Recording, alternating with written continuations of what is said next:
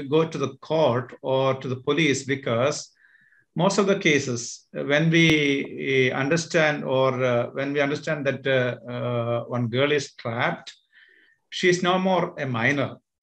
Normally it's a major. And uh, when we go to the police uh, they they decide what they uh, their future. And so normally we cannot we cannot handle the case for example once this is one of our youths did or two youths did the case one girl was trapped uh, when she was in the ninth standard.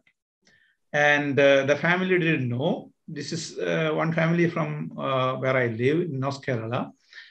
And uh, uh, these young people, they are Christians. When they knew about this, they went to the house of this girl.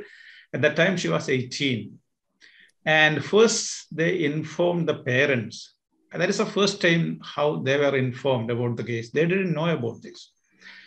And uh, when they spoke with the parents, uh, the girl understood the case and she was so furious.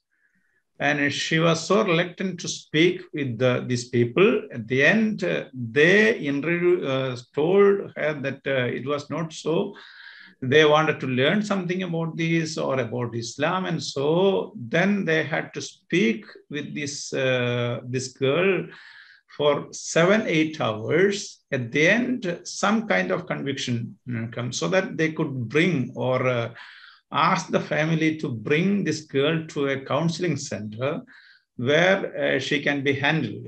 The problem is uh, they are brainwashed this happens in, in maybe two or three days. How they do this, it is difficult to understand.